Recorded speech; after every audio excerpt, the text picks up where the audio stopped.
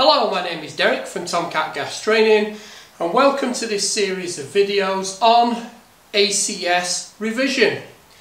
Now, I've been told in a lot of the comments in my videos I waffle and I go on too much and my videos are too long. So these videos are all hopefully going to be less than 10 minutes long. So the first one we're going to be looking at is tightness testing. So let's get on with it. Now, before we get cracking, First thing is what test equipment we're going to need. Well, we're going to need some kind of equipment for testing the actual pressures. So we've got a normal U gauge here. You can use your analyzers if they've got pressure testing, or you can use these cheap digital manometers. But these only go to one decimal point, but these go to two decimal points. So you can use some manometer fluid to go into your manometer so you can see it. And I've put that in, it goes blue so you can see the actual pressures. You're going to need leak detection fluid. You're going to need a flat bladed screwdriver or a nut spinner for the test nipple. And you're also going to need a non-contact voltage indicator. Because remember, before we touch any equipment, we need to use our non-contact voltage indicator to see if there's a presence of electric so we don't get killed doing this test. So that's the equipment we're going to need. First thing we're going to do is a let-by test. So, let-by test, what is it? Well basically, it's a test to see whether this, the emergency control valve, is letting by. So let's look at the procedure. Now, before we get started, we need to make sure we prove our non-contact voltage indicator is working before we use it. We then need to use it.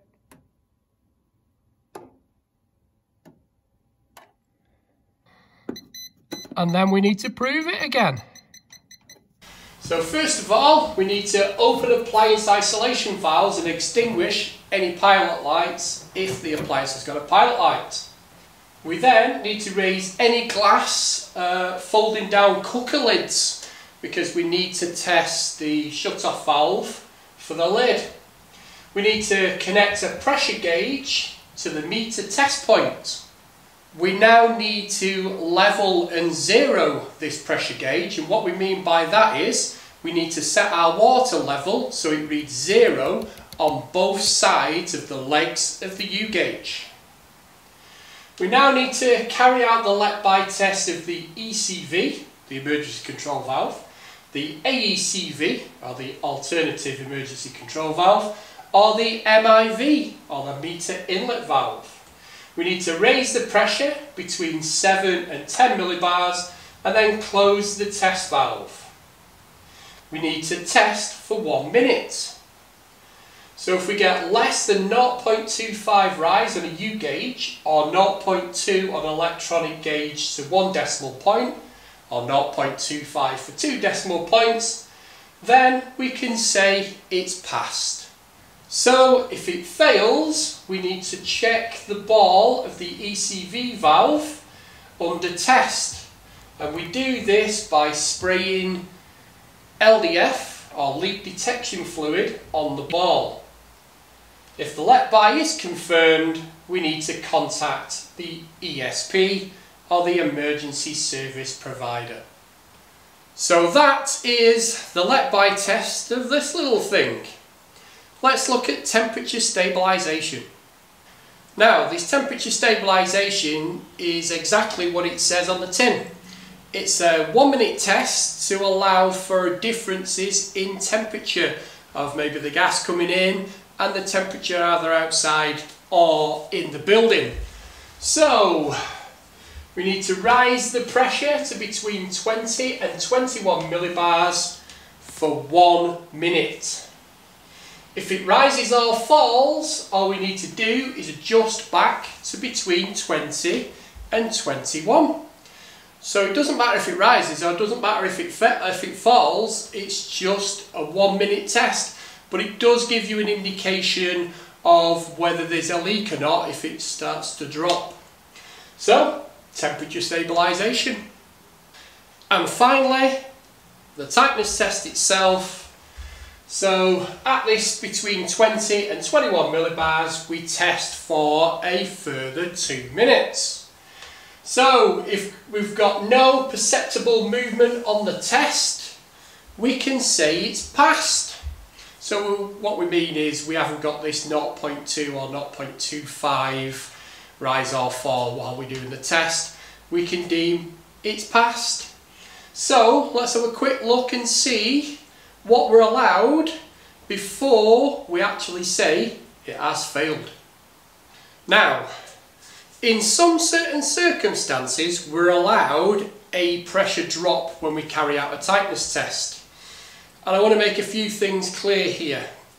Now, if we're testing a brand new installation with a gas meter and pipework and appliances, it's a zero drop. There's no tolerance whatsoever. You cannot have a drop. But if we're testing an old installation with a gas meter connected, pipework and appliances with no smell of gas, we're allowed a drop. So the table behind me will show this. So remember, this is for a gas meter, pipework and appliances with no smell of gas. So if we've got a meter, a U6G4 with pipework equal to and less than 28 millimeters, we're allowed a 4 millibar drop. Remember with appliances connected and no smell of gas.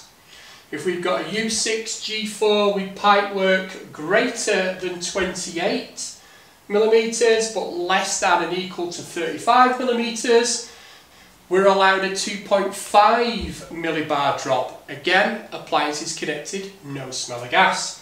If we've got an E6 meter with pipework equal to and less than 28 millimeters, we're allowed an 8 millibar drop. Again, appliances connected, no smell of gas. E6 with pipework greater than 28 but equal to or less than 35 millimeters, we're allowed a 4 millibar drop. If we've got a G10 U16 with pipework equal to and less than 28 millimeters, we're allowed a 1 millibar drop. And if we've got a G10 U16 with pipework greater than 28 millimeters but less than 35 millimeters, again, we're allowed a 1 millibar drop with appliances connected and no smell of gas.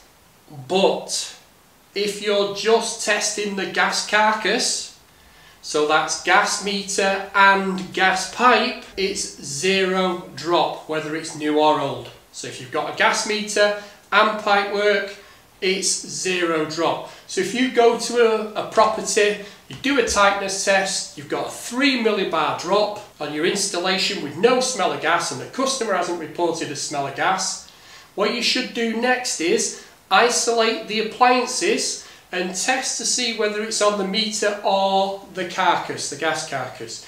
Because um, if it is, you're allowed a zero drop. So this is where trainee engineers get confused and start putting comments down saying we're not allowed any drop. We are allowed a drop as long as it's an old installation with appliances connected and a gas meter and no smell of gas. Now then, if you go to test a flat and it has a commercial gas meter feeding all the flats, you can't do that test, but there should be an AECV, or an alternative emergency control valve, within the flat with a test nipple where you can carry out a tightness test. And we do get a permissible drop in that. So remember, we've got no gas meter. We have, but we can't test from that. We've got pipework and appliances with no smell of gas if the pipework is equal to and less than 28 millimeters, we're allowed an 8 millibar drop.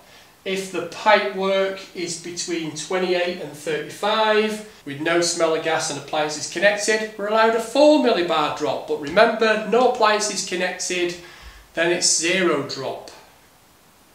Okay, so hopefully that makes it clear on when and where we're allowed permissible drops on a tightness test. Did I make it? Did I manage to explain the tightness test procedure within 10 minutes? Well, technically, if you take away the intro and this, then I've made within the 10 minutes. bit hard for us wafflers. Anyway, if you've enjoyed this video, why don't you give it a thumbs up or leave a constructive comment down below. If you want me to do another video in less than 10 minutes on any other subject, put that subject down below as well. If you've not subscribed to our channel, then please subscribe because it helps. And don't forget to hit that notification bell because I release videos mainly on Mondays and Wednesdays. All I've got left to say is, thanks for listening, thanks for watching, and tune in for the next 10 minutes when I'm doing purging. Cheers guys!